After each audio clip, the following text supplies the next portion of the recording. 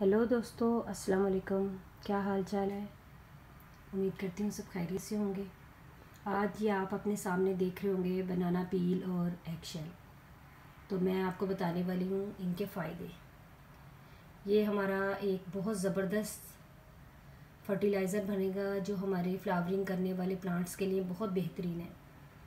और साथ में जिन जिन फ्रूट्स, वेजिटेबल्स वाले प्लांट्स हैं, जैसे चिली हो गई टोमेटो हो गया और और भी जो आपके पास आपने फ्रूट्स लगाए हुए हैं, घर में या वेजिटेबल्स लगाए हुए हैं, उनके लिए बहुत बेहतरीन है। और इसका क्या तरीका है, ये भी मैं आपको बताऊँगी, इसके क्या क्या फ़ायदे हैं वो भी मैं आपको बताऊँगी। और ये बहुत ही सस्ता और आसान होममेड फर्टिलाइज़र है, जो हम अपने प्लांट्स को डालेंगे, इनका बहुत अच्छा फ़ूड बनता है। और जो कमी हम एन पी के खाद या एन पी के डाल के अपने प्लांट्स में फ़ायदा हासिल करते हैं, वो आपको इन दोनों से मिलेगा। उसके लिए आपको क्या करना पड़ेगा? जब भी घर में आप बनाना खाएँ, उसके पील एक साइड में किसी प्लेट में रख दें।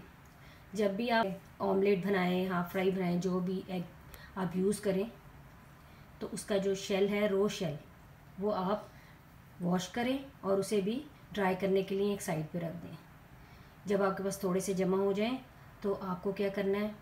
बनाना पील को, अलग से पीस लें ग्राइंड कर लें, मिक्सी की मदद से कर लें। हाथ से तो थोड़ा मुश्किल है, क्योंकि उतना उतना बारीक नहीं हो पाएगा जो मिक्सी काम करेगी। और एग शेल भी आपको अलग से पीस लें और इनको एक बॉटल में अलग अलग से रख दें। फिर जब भी आप वीक में एक बार आपने अपने पौधों में डालना है, एक स्पून यानी दोनों को बराबर लेना है। एक स्पून बनाना का पाउडर लेना पड़ेगा फिर एक स्पून आपको एग शेल का पाउडर लेना पड़ेगा। मिक्स करके आप अपने पौधों की साइडों में डाल दें वो भी मैं आपको दिखाऊँगी कि कैसे। अभी सिर्फ़ मैं आपको इसका बता रही हूँ कि ये आप इस तरह आ, किस तरह आप जमा कर सकते हैं अपने पास। बहुत इजी है। किचन वेस्ट से इजीली आप तैयार कर सकते हैं। और इसमें बहुत सारे फ़ायदे हैं। आपकी फ्लावरिंग बेहतरीन हो जाएगी फ्रूटिंग बेहतरीन हो जाएगी। जो प्लांट्स के लीव्स हैं, वो, जो ग्रीन लीव्स हैं, वो ज़्यादा ब्राइट दिखने लग जाएँगे। तो ये उनके लिए बहुत अच्छी गज़ा बन जाएगा। तो वीक में आप एक बार या दो वीक के बाद एक बार ये यूज़ करें। तो आपको कोई केमिकल यूज़ नहीं करना पड़ेगा अपने प्लांट्स में और आपका इसी से प्लांट्स बहुत अच्छा ग्रो करेगा। तो फिर हम आपको मिलेंगे। इसको मैं बीस के फिर आपसे मिलती हूँ।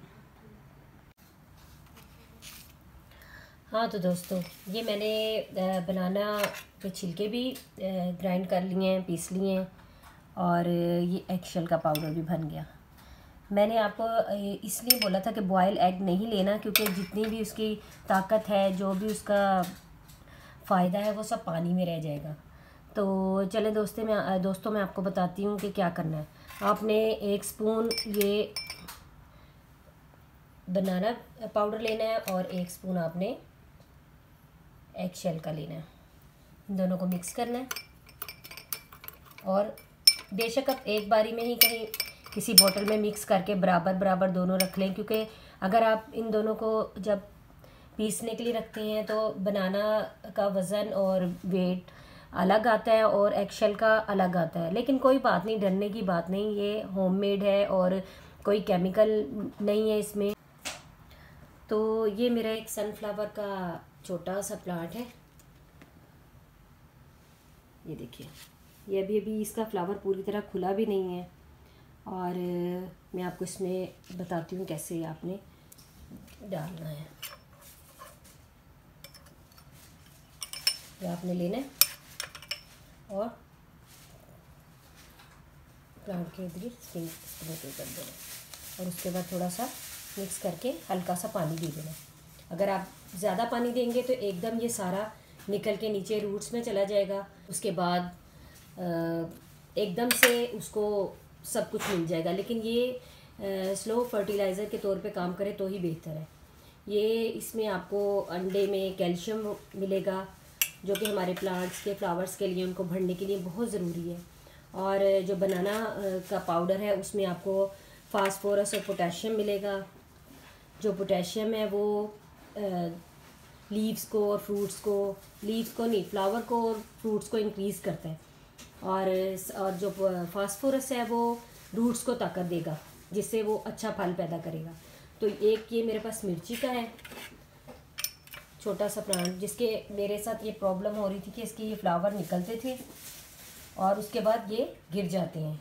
ये इसकी, पहले सारे प्लांट में मिर्ची आई थी फ्रूट आया था, बहुत अच्छा लेकिन उसके बाद अचानक ये बस ऐसा होने लगा कि फ्लावर आते हैं और उसके बाद गिर जाते हैं।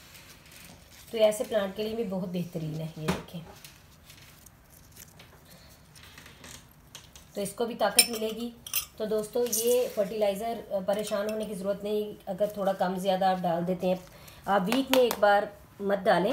आप इसे पंद्रह दिन में एक बार डाल लें। उससे ये धीरे धीरे जड़ों तक जाता रहेगा। जब भी आप पानी डालेंगे और उस वक़्त ये आप प्लांट को इजीली उसको फ़ूड मिलता रहेगा, उसको ताकत मिलती रहेगी। तो उससे ये होगा कि आपका जो प्लांट है वो बहुत अच्छा ग्रो करेगा। और ये बहुत इजी और बहुत सस्ता होममेड फर्टिलाइज़र है। इसमें आपको किसी चीज़ के लिए भी पैसा खर्च करना नहीं पड़ा। और इजीली एक बेहतरीन फ़ूड आपके प्लांट्स को मिल गया ये जो फर्टिलाइज़र है, ये इसमें कैल्शियम पोटेशियम, फास्फोरस, ये सब चीज़ें जो कि आप एन एन पी के फर्टिलाइज़र लाते हैं मार्केट से, उसमें भी यही सब कुछ है। और ये स्लो रिलीज़ है, डरने की कोई बात नहीं है। आप पंद्रह दिन में एक बार अपने प्लांट को ये दें। ये आप पीस लिली के प्लांट को भी दे सकते हैं उस पर भी फ्लावर वगैरह आते हैं। इसके अलावा जो भी फ्लावरिंग करने वाले फ्रूटिंग करने वाले प्लांट्स हैं, आप उनको ये दें। और उसके बाद थोड़ा सा पानी इस पर डाल दें। धीरे धीरे ये रूट्स को मिलता रहेगा रूट्स को ताकत मिलेगी और आपका प्लांट बेहतर ग्रो करेगा। और इस फर्टिलाइज़र का एक और बहुत अच्छा फ़ायदा ये है कि जो स्नेल और स्लग मट्टी की खुशबू जिन्हें अच्छी लगती है, वो मट्टी में आ जाती हैं और हमारे प्लांट्स के सारी रूट्स को खा जाती हैं, उसे डैमेज कर देती हैं। इस एग शेल की खुशबू की वजह से वो भी नहीं आएँगी, उससे भी आपका प्लांट बच जाएगा। तो ठीक है दोस्तों, फिर इजाज़त दें इन नेक्स्ट वीडियो में मिलेंगे। अल्लाह हाफिज़।